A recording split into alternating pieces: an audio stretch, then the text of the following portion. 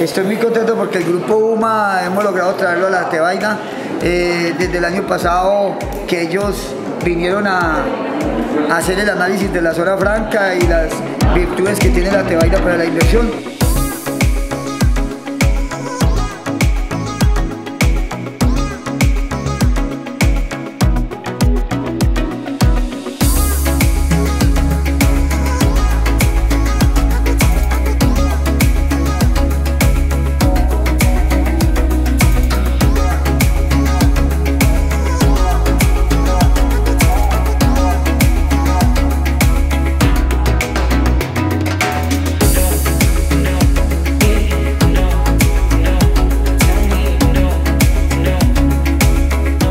Nombre es Carlos Andrés Morales, soy el gerente de vehículos comerciales de Grupo UMA.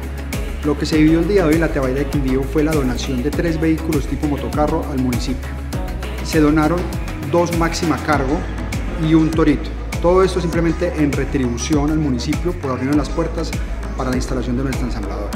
Con esto lo que busca el Grupo UMAS es ampliar un poco el bienestar sobre toda la región, aparte del impacto que ya se ha generado con la apertura de la ensambladora.